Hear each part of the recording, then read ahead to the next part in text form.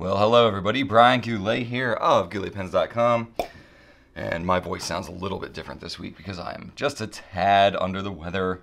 So I have very much of a Barry White, Isaac Hayes, Mike Rowe kind of voice today. Secretly, I love it when I get sick like this though. I don't feel really sick. I'm like a little under the weather. I sound way worse than I actually feel, which is why I'm continuing to do Q&A. So thanks for bearing with me. But I secretly love when I get sick like this because my voice gets so much lower and I can like say and sing things that normally I wouldn't be able to, like the Grinch song and things like that. You know, you're a mean one, Mr. Grinch. Like I can't normally get that low because I'm normally a tenor. But anyway, so it'll be an interesting Q&A. I haven't been like coughing a whole lot. If I was gonna have coughing fits throughout the whole Q&A, I'd be a little more concerned. I may sip water every now and then just to keep my throat from drying out. But uh, other than that, I feel pretty good about doing a whole Q&A for you today. So I'm shooting this on Wednesday morning. I have a special guest coming today, John Lane from Pilot USA. I don't know that we're going to be doing any video type stuff, um, but we're coming and doing some forecasting and blah, blah, blah, boring things. uh, boring on the entertainment side, really exciting for getting proper quantities of products. Uh, but anyway, so um, I'm going to be shooting Q&A actually this Friday for the coming week as well because I'm going to be out of town. I'll be on a business trip next week at the end of the week, like Wednesday through Sunday basically. So I won't be here to short shoot to shoot Q&A as normal, um, but I will um, still get it done for you. So I'll have that this week, so it won't be maybe quite as timely, but it'll still be good. Um, in Q&A today, I'm going to be talking about ink sample longevity, interviews and collabs, and then using food coloring as fountain pen ink. So it should be pretty interesting for you. Um, while I'm in New Orleans next week for my business trip, I want to host a meetup. Um, so if you happen to be in the New Orleans area or be willing to drive to New Orleans, uh, I will be at the NOPSI Hotel right there in the heart of New Orleans uh, at 120, uh, sorry, January 26th at 4.30 p.m. That's a Saturday, so next, not this weekend, but next weekend on Saturday at 4.30. You can follow me on Instagram. You can check uh, the Facebook group um, invite, the Facebook page invite that we have, event, that's what it's called, Facebook event that we set up um, for more details, a specific address and stuff like that. But basically, it's just a low-key hangout. Bring some pens, bring your friends. Um, just while I'm there, might as well get to see some of my, um, you know, people in the Big Easy. So it should be fun. Um, we put out a blog this week uh, for Lamy Sneak Peek, so um, word's getting out about um, some of the special editions and things like that that are coming in the first half of this year. Lamy is putting out more this year than I've ever seen them come out within a single year, so that's really exciting. I've actually known for uh, just a little bit, but we haven't been able to talk about it publicly yet, so we've got it out there now so you can get pumped. Um, we put out a video in right now on Wednesday for the Pineider Ink Alchemy set. I actually spent a little bit of time kind of playing with the ink and stuff like that. I won't belabor that by talking about it again here today, but I do want to point you to that video. Um, I did some nice ink mixing and stuff, and you know, I haven't I haven't messed around with ink mixing too much in a while, but it's like a CMYK themed ink mixing set. It's pretty fun. Um, so you can check out more on how I did that. Um, we have some Monteverde Monza pens that we got on closeout. So these are individual pens, not the three set. Um, the three set we're going to carry on going, but they're closing out all the individual pens without the additional nibs. Um, so we got those. We're giving you a good deal on those, so check those out. Um, also got into the Pilot Vanishing Point stripes. So that's pretty fun. Um, it's a more expensive version, but it's basically a it's an all metal um, rhodium plated version of the pen. Um, and it's got this nice kind of indentation. If I'll see if I can show you close up here. It's very shiny, so it's hard to see, but there, there you go. Really classy looking, like, you know, um, it's kind of thing that uh, it's not a super drastic deviation from the other pens that they have. I know there's been some questions about like how slippery is it? Does the does the fluting help give it a little bit of a grip? It definitely does. It it can still be a little bit slippery kind of down the barrel of the pen because the flutes go that direction. Um, but for me, I would say it's a little bit, it's a little bit slippier, slip, slipperier um, than a normal VP, but not maybe as bad as you might think. So really looks nice though, I gotta say. It's a classy looking pen. So we have that now. Uh, we've been waiting for that for a while, um, so you can check that out. We also got in the Esterbrook Estie in Evergreen A lot of E words going on there. So we have that in both the gold and the green trim. Nice looking pen. A little bit of shout out to Penboy Roy here. So Penboy Roy rated this as his top pen of 2018, I think. Or the Esterbrook Estie in general. I don't know if it was the Evergreen one, but either way. Nice looking pen. We just got them in uh, last week, I think, is when they announced it. So, um, yeah, you can check those out. And the oversized ones you can swap with um, vintage Esterbrook's nibs if you have the adapter, which is pretty cool. So Esterbrook's been received pretty well so far. Pretty neat. Um, we also have the Lamy Crystal inks that are going to be coming soon in limited quantity. We do not have enough uh, right off the bat, I will say that, but they should be following up with more. So if you're on the email notification list for that, that is the way to go. And then another thing that we had this week was a Space Race Retro 51 restock. I very greedily kept a set for myself for historical purposes. The sets are all gone. They sold out in two minutes. But we still, at least as of Wednesday morning, have the individual pens that you can buy. Unfortunately, we didn't receive batches of individual pens with similar numbers on them. Otherwise, we would have tried to bundle them together. But you can get Apollo, Gemini, and Mercury for yourself individually, assuming we still have them. The only reason I really shout it out is because um, this is the last of the batch that we're going to get. So once these are gone, that's it. So if you're hot on those, um, be sure to go make that happen. Um, and then a quick shout out um, this week, this coming week, uh, on Monday, we are going to be closed. Our office is going to be closed for the Martin Luther King Jr. holiday. It's the first time that we're observing that holiday. Um, so Martin Luther King Jr. is a pretty cool dude, um, stood up for some pretty cool stuff, and uh, we're going to observe that holiday as a benefit to our team, but also uh, in observance for um, all the wonderful things that he did. So pretty cool. Uh, so you won't get in touch with us on Monday. So if we happen to ship a package in or a day late, that's why. All right, so um, I'm going to try to have a slightly more abbreviated Q&A today just because of my voice, but I don't know, maybe you really like my voice and you would want me to do an extended one, but either way, that's not going to happen. Um, so let's start out with pen and writing questions. Kenneth S. on Facebook says, I keep hearing gold nibs being described as springy, but I'm having a hard time visualizing exactly what that is since I don't own any gold nib pens yet. Is there a way Brian could demonstrate this phenomenon, or is it one of those things you just have to experience in order to understand? Okay, it's very simple, really, and I can describe it and try and use my arms as visual aids. but it's the kind of thing that it's pretty difficult to show without some like super tight macro stuff. So I'll talk to Andy, and maybe if she's really ambitious, can try to throw some B-roll over top of this. But I won't be able to uh, show you in any proper manner other than using my arms uh, here in Q&A today. So um, it's really very simple. A springy nib just means that the nib bends a little bit, and that's about it. It's got some give to it. So essentially, if you view my arm as the nib, right? This is the tip, or here, here's the tip, and then this is the nib. It just means that when you hit the paper, the nib is going to kind of bend a little bit like this. So as you put pressure down on it, it just bends. That's it. When you have a flexible nib, okay, now my arms, if you're looking at, say, the surface of the nib, you know, here the here is the tip, and then these are the tines. When you have a flexible nib and you're pressing on it, the nib actually flexes like that. So it actually spreads open and more ink flows. That's why the line looks wider and then you get that line variation. That's a flexible nib, but that's not necessarily what's going to happen. If it doesn't, if a nib is designed to flex like that, it opens up. But and and it does spring like that too. But um, a normal gold nib is not going to flex open like that. It's just going to more or less kind of bend as you put pressure on it. And the real, it's not so much a visual effect because it's honestly it's very subtle. Um, but the bigger difference is in how it feels because believe it or not, you actually have a lot of sensitivity in your fingertips and in your hands.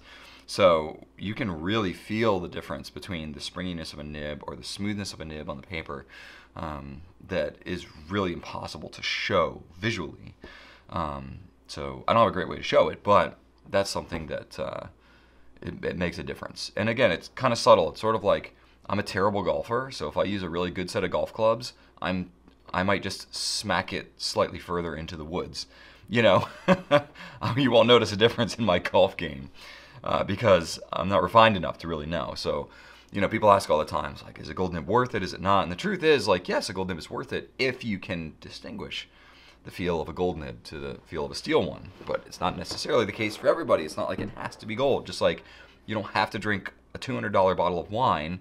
Most people can't tell the difference between a $20 bottle of wine and a $200 bottle of wine. So no, you don't have to go that route. But um, if you if you have kind of a refined taste or you can notice a difference, then that's what it does. So again, if you're happy with the steel nib and you don't notice anything missing in your life, I wouldn't say you need to bend over backwards, but um, I definitely am a fan of both. I use both all the time and enjoy them for what they are. All right, ink question. This is from Auston R on Facebook. How will ink samples maintain their properties in ink sample vials? I guess I'm curious if I should use the whole sample within a specific time period or whether I can let them sit for a while. Uh, it's a good question. I have some samples that I've let sit for some time. Some of these are gifts that I get from other people. Some of them are ones that I've used. Um, I have not noticed any any marked difference. Granted, I haven't done like scientific, super scientific testing, um, but I haven't noticed a huge difference in ink samples um, that end up sitting there, especially with the type of vials that we have. They're a, they're a type of plastic that doesn't leach as much um, as maybe some others do. Um, but it is a plastic vial, so plastic over a long period of time is going to leach moisture out of it. So at some point, there's going to be a cutoff to where it could affect the you know saturation of the ink and things like that. But um, it hasn't been anything that I've noticed that's happened in even probably a five-year window. So I don't know what you consider to be a while, but I think if you're holding on to ink samples for 10 years, 15 years, it's like all right, you're you're pushing it a little bit there. You know, the main point of samples, what we originally created was for you to get them, try them, and then be able to you know, get the bottle of ink and be able to test it. But I think for most people, you end up getting probably more sample vials than you would use right away. And maybe you want to revisit some over time. I think within most reasonable expectations of a timeline of how they will keep, they're going to be perfectly fine. If you're talking a decade or more, that's when I would kind of raise my hands in the air because I haven't even had any samples that long. So I don't know, and I wouldn't guarantee that like these will last you your entire life. Um, but I think if you're looking within like a couple of years to maybe five year period, as long as it's sealed well and it's not like in direct sunlight where the light's just going to be bashing it and maybe changing the dye properties, I think as long as it's stored and reasonably kind of tucked away somewhere, um, you're going to be in pretty good shape. Cool? I'm to grab a cough drop, if you don't mind. Not a sponsor, but I do prefer Ricola cough drops. Just the original, nothing fancy. I find that um, when I'm sick, I like to eat cough drops one after the other. So while other brands like Halls and some of the menthols might feel good once or twice, when you have them back to back, they can wear on your throat a little bit and have a weird taste in your mouth. But Ricolas are pretty good. So anyway, they have no affiliation with me or Goulet pens whatsoever. I'm just letting you know because I thought you might be curious. All right, this question is from Apollo Photography AP on Instagram. Is it smart to use food coloring as a fountain pen ink? I know a certain someone who does it all the time. All right, I don't know who certain someone you're referring to. The way you're implying it makes it sound like it's somebody that I should know, but I don't know who you're talking about. Um, so I did a little bit of research, watched a couple videos, looked at Fountain Pen Network. I've heard a little bit here and there in the past about using food coloring as a fountain pen ink, as opposed, you know, I've heard of people using coffee and tea and wine and all kinds of other like food grade stuff because, frankly, you can get these things in a cheaper um, quantity, you know, cheaper per milliliter than you can a bottle of fountain pen ink. So that makes sense uh, why the question would come about. Um, it seems to be like the answer is yes and no. Um, at some level, it's not that different. It's water and dye of course, the type of water and dye and biocides and lubricants and other things like that. You know, fountain pen ink is not a amazingly complex, at least tip, you know, some base fountain pen inks are not amazingly complex. There's some level of chemistry that's involved and it's all rather proprietary, so I don't 100% know what every ink includes. Um, but largely, you know, you're talking ink, dye, water, um, some sort of salt solution, salinity, um, you know, some sort of biocide, um, and then uh, lubricant. So those are the main components of it, and what mixture and exactly what they are and how they play well together is what varies so much from ink to ink. Um, so I don't know the exact chemical composition, but I know that food coloring is not. It's not like it's putting, you know, paint into your pen. It's not like it's that different. Um, the degree of biocides, I believe, are different. So it's my understanding that food color may lack some of the sufficient biocides for regular pen use, though I've seen some videos of people that have used them regularly and have not had an issue. So I don't know if that's a universal thing or maybe just in their particular climate it didn't happen to um, get exposed. I know there's some brands like um, Herbin, for example. They don't use any biocides in their ink, and they seem to be okay. You got to be super sterile in order for that to happen. Um, but that ha- that's that's possible. Um, it does lack some of the same surfactants and, some, and, lubrication, so it may not flow quite as well. You're not going to see as much shading and some things like feathering and um, bleeding, and stuff like that. Um, spreading on the paper uh, are probably going to be different with uh, with a food coloring as opposed to fountain pen ink. Um, and the degree of like permanence and light fastness is very much in question. So in terms of longevity, but you know, I will say that if it's something that you're going to be writing with and not keeping for very long, or writing and keeping closed and in like a journal where there's not light exposure, that's going to minimize a lot of that. It's definitely not going to be waterproof. Um, so you know, I've I've in my research I've actually seen it talked about more for use with inkjet uh, printers. You know, people using food coloring to replace their inkjet printer ink because per milliliter inkjet printer ink is the most expensive ink in the world. Um, but that's something, and a lot of them have computer chips and stuff now to prevent you from doing that. But um, that's that's actually where more of the conversation came up. Um, but it's something that I would say you can you can maybe experiment with, especially um, if you have an inexpensive pen that you don't really care about as much, and um, you're like a student or somebody that just needs to write something that's maybe not super permanent um, but cost effectiveness is your absolute priority. I would say, what have you got to lose? Um, as an authorized retailer, speaking from pen manufacturers, I know that food coloring is not something that is like condoned and recommended for regular use in fountain pens. So I would say it's definitely a use at your own risk kind of situation. Um, and you shouldn't plan on using it in any, you know, more precious or more expensive pens in your collection. But if it's something you just kind of want to mess around with, I say what the heck? What have you got to lose? Um, but uh, another cool thing is because you can get some of the kind of basic colors, you can mess around with some ink mixing stuff. So if you want to go like the complete opposite end of the spectrum of the ink alchemy set, you could go like to the grocery store and get some food coloring, you know, in the different almost CMYK colors. And you can mess around and make your own stuff and just have a good time. Especially if you're doing like mixed media art and things like that.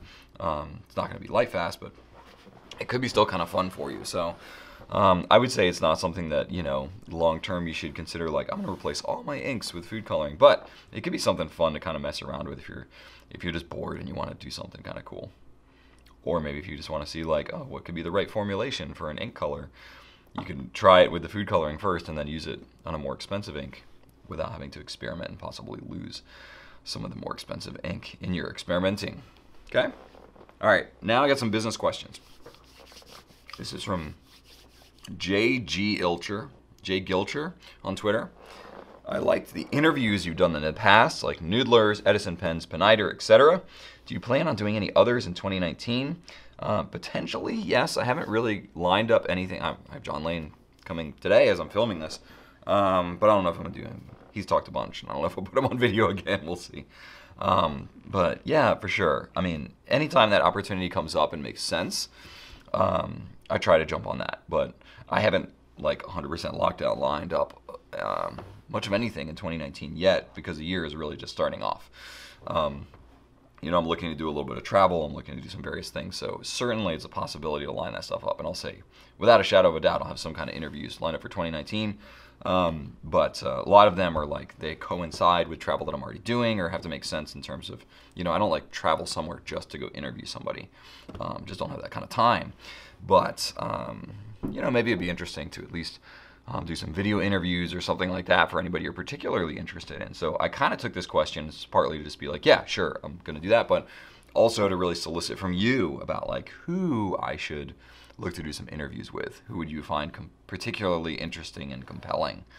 Um, so yeah, leave, leave notes in the comments, and I'd love to know. Next question is from Eleanor Justice on Instagram. What kind of collaborations have been your favorite? Special ink colors, etc. And what's that process like? Is there a dream collab you'd love to do but haven't? So collaborations can take a lot of different forms. Um, each one's different, so it really kind of depends on who it's with. Um, what's tough is that most of them are virtual because we don't have um, really, other than Chet Herbert with Herbert Pens, we don't really have anybody here locally that we can get together with. Um, it may be the kind of thing like we see somebody once, once a year or twice a year, maybe. Um, and then we can like maybe collaborate a little bit in person. That's part of the reason why you know I travel to different manufacturers and stuff like that is to see samples of products they have and talk about possible exclusives and collabs and stuff like that. But um, a lot of times it just has to be over email or over the phone or you know Skype or whatever it is um, to just kind of dream up ideas and then we end up having to mail samples back and forth and these types of things. So, um, you know, probably the process is a little less glamorous than you may think initially, just because um, it's actually just a lot of logistics. There's a good brainstorming part, and that's that part's really fun because you get to dream things up. And a lot of times it's like, hey, what have you all had in development that you haven't released yet that we could possibly have as an exclusive? That's usually quicker to come to market. If we got to conceive something completely from scratch, you're looking probably at least six, nine months before something could come into fruition.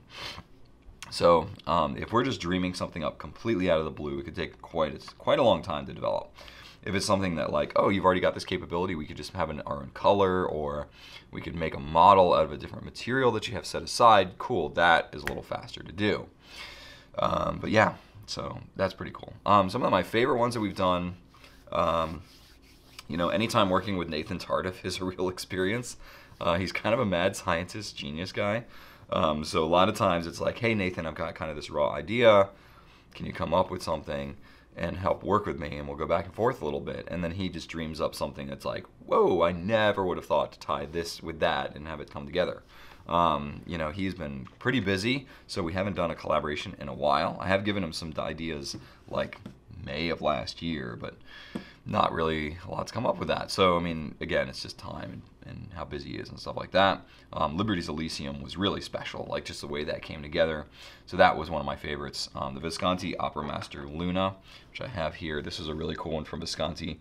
This was one that was just kind of like a, a relatively quick one, and we've talked about this a little bit about how um, it was really Rachel's idea, but um, they had this material in one of their limited edition, uh, the Daedalus pen and it was like, hey, what if we use that blue material in a different pen, brought the price point down, could fit. And we, we bought a lot of them knowing that we'd have it for a while. We still have it. Um, normally with limited editions, they tend to be a much shorter time frame. This one we were okay having for a couple of years because we knew this material so special and it was blue and we just really wanted to, to have it. So that one was pretty cool. Um, anything with like Edison and Herbert pens, you know, Herbert is the recent one. We still have a few of these left, not a ton. So this one's not going to be around too, too much longer. But the Herbert pens was cool because Chet's local and he's a, a pen maker, which speaks to my own roots. Um, so this is the Herbert pen. If you haven't seen this one, it's called the Monument. Um, from stands for Monument Avenue, which is um, one of the main roads through our city of Richmond here, and uh, it's with his paper ribbon material, um, which he custom made the material. We designed it together, went back and forth. I put a black nib on mine, um, which doesn't come with that, but I put one on there anyway because this is one that I custom ground, um, so I kind of adopted it myself. But anyway, um, this was pretty cool just because Chet's a, you know, I want to say small time, but he's up and coming pen craftsman. So anytime I get to work with kind of somebody who's up and coming, it always speaks back to my pen making days and the things that I was able never able to do at kind of like selling at scale as a pen maker. So that's pretty cool getting to work with, you know, folks like Herbert and Edison and uh, I always get to get like a little deeper into like the technical and the materials and how their lathes work and all this kind of stuff. I can talk deeper with them on that because they know all the nitty gritty details and I love that stuff. Um, ones like the Montegrappa Shiny Lines that we did, we're out of these now, but like just the materials, fantastic. You know, being able to revive an old nib that came off a really special pen and then incorporating that into other design elements. That was really cool to be able to get to do that. Do things like come have a celluloid grip, which is not super common for them. Um, so that was really neat. Just being able to work with more of a luxury brand, a premium brand, and dream up something neat was really was really fun. I think in terms of things that I would really like to do but haven't, um, it'd be cool to do an exclusive with you know TWSBI or Lamy or Pilot. Those are some of our bigger companies, bigger brands that we deal with. Um, you know, of course, they get a lot of attention. To be able to do something exclusive with them would definitely be like a sense of, you know, we've made it a little bit. Um, you know, not to say that any of these other ones haven't made us feel that way. Certainly, working with like Montegrappa and Visconti have felt that way too in their own right. But you know, companies larger ones like these could be really cool. Um, uh, so that would be neat. I don't know if that'll be a possibility, but I'm I'm always bringing it up. Um, and then um, I do have one project in the works um, that I can't talk about yet because it's actually happening and I don't want to spoil it. Um, but it's something that um, it, there was a special order we did for a pen years ago. Um, and I like the pen so much, I actually shot a video on it. We didn't even sell the pen regularly. Um, it's still out there. I'm not going to say what it is. I'll let you guess. But um, I did a review of this one particular pen, and we're trying to bring it back in a limited capacity. Um, and that's all I'm going to say about it. So that would be really cool, just for me personally, because I just really liked that pen. Um, and then, of course, I'm a huge fan of Jake Weidmann and his amazing artwork. Um, so anything that I could do to collaborate with him in a product in the future would be really cool for me. So those are just some rough ideas. None of these are like panned out, fleshed out, but um, just top of mind kind of stuff. And the last question I have for you this week is all things epistolary on Instagram. Have you ever thought about carrying pen rests? Um, sort of, sort of. Like, um, you know, I was in contact with um, this guy Brad Shoot Shooty, um, and he makes these pen rests. These are pretty cool. Um, they look really nice, but he's he, you know, works at Dollywood. He was at a pen show, so it's the kind of thing like you can stick your pen in here, and it looks really cool. Um, has different colors. Um, he just couldn't make them in quantity. So this is something in the future I would love to carry, um, but I don't know if it's going to happen. Um, I have another one. This was just from an independent um, glass maker um, that he sent me one, and the price point was a little higher for this one. This was like $125 or something, and I was like, I don't know if that's going to be possible. And he was just an, an individual person too. So that's a tough thing about a lot of pen rests is a lot of them are just made by individuals. You know, I'm a fan of Mike Dudek um, and Clicky Post, so I have, um, you know, one of his little planters here. He had a piece of wood that he had on his um, Instagram um, that had a nice knot in it, and I was like, oh, that's cool. I like the character of the knot. Can you make me one around that? And he did. So that's kind of cool, but again, he has a full-time job and just does that on the side. So it's the kind of thing that I've found that with a lot of the pen rests, um, it's really small, you know, small um, they say small timers. That sounds so derogatory. That's not what I mean, but you know, it's it's people that are independent craftsmen who um, just can't make things at scale to sell to retailers like us. So um, it's the kind of thing that I would be interested in. I may be curious who you've seen that you would be interested. Um, Penwell is another one. I actually talked to um, the guy who founded Penwell um, the other day on the phone because you know it came up. We have a Slack channel in our company, so like anytime you are requesting things on Instagram or YouTube or through email to our team on the phone, whatever. Um, we put it into the Slack channel as like new item suggestions. So like Penwell came up and I was like, oh, that's interesting. I looked at their website, you know, reached out to the guy and he was like, yeah, it's not a full-time gig for me, you know, but maybe I could go that way in the future. So it's like, all right, cool. So we'll just kind of like be in touch. Um, you know, so a lot of times that's what ends up happening with these pen rests is it's people who are making them on the side. It's like their side hustle. Because you think about it, fountain pens themselves are already pretty niche. And then when you get into, you know, accessories and support items for fountain pens, you're now into like a subset of a subset of a niche. So it's um, it's the kind of thing that I don't I think it's difficult for people to make really at at scale enough to be able to offer to you know full distribution. But there's some really cool and interesting things out there on like Etsy and Kickstarters and some other things like that. So I always have that kind of stuff on my radar. You know, Zach Zaguri is one of the only ones that I can think that has them available. He has like the Atlas one and like the Knight that's like holding up the pen, and that's the only ones that I've seen. I haven't made any contact with them. That's something we could carry. Um, theoretically, but um, that's really the only one realistically that I can think of. So I would love to know if you have any um, that you would like uh, me to see and then maybe I can pursue them or something like that. So again, very I'm, I'm asking you for a lot of information in this Q&A today uh, because I'm really just kind of curious. Uh, and that's it. That's it for today. My voice is clearly degrading as I go along, so I'm going to give it a little bit of rest. But even still, I'm glad I was able to shoot this for you today. This will be a nice, nice short, nice brief one if you even stuck it through to the end on this one anyway. My question of the week this week is what is the most important property of an ink to you? Is it shading? Is it water resistance? Is it, you know, the color itself? Is it the dry time? I'm just very curious to know what is it that you find most important when you're looking for an ink? So if you leave that in the comments as well, that'd be great. Should be lots of good feedback in the, in the comments this week. So anyway, thanks so much for watching. Thanks for bearing with me through my illness today. I hope you've enjoyed this one. You can check out more information on a lot of what I talked about here on gouletpens.com. Subscribe if you haven't already. Thanks so much for watching, and right on.